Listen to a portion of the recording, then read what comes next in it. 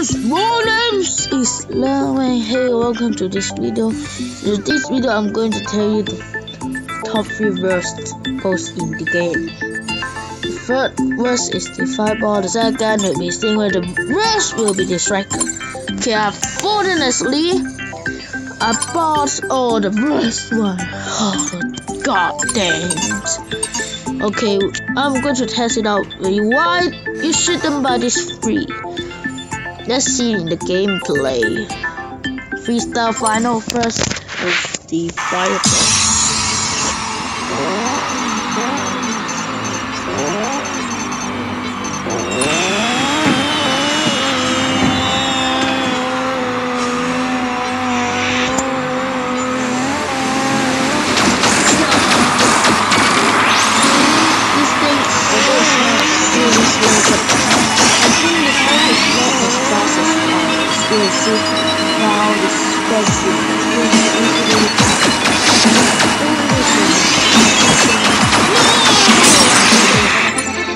Freestyle.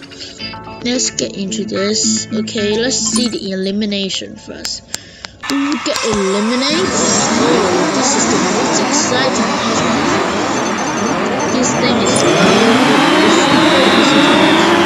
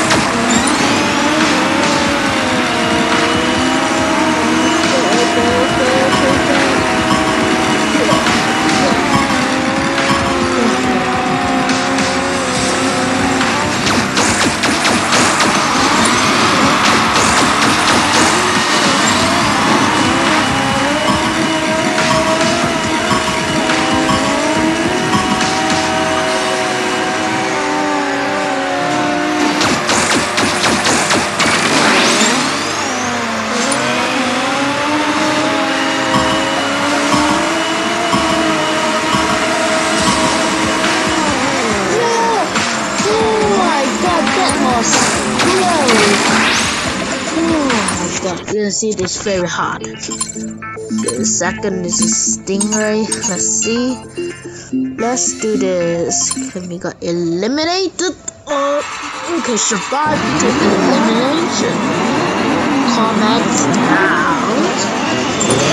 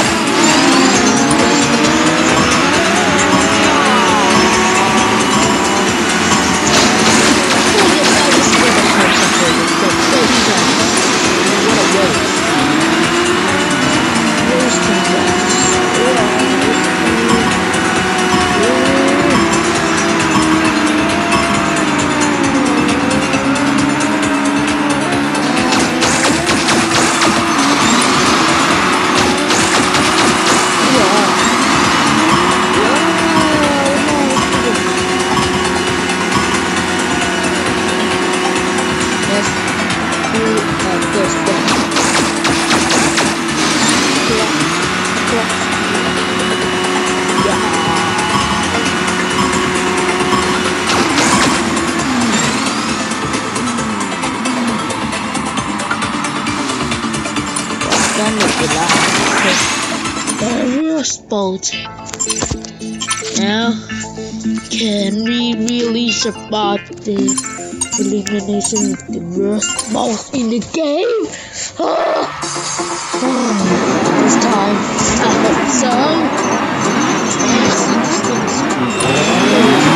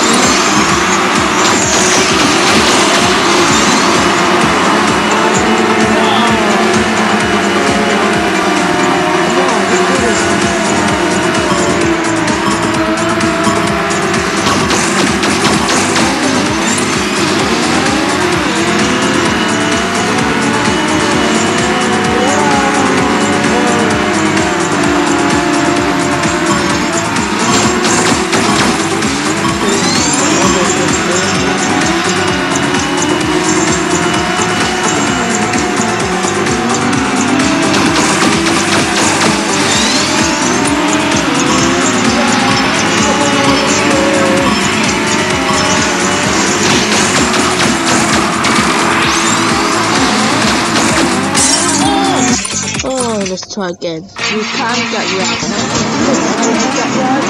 this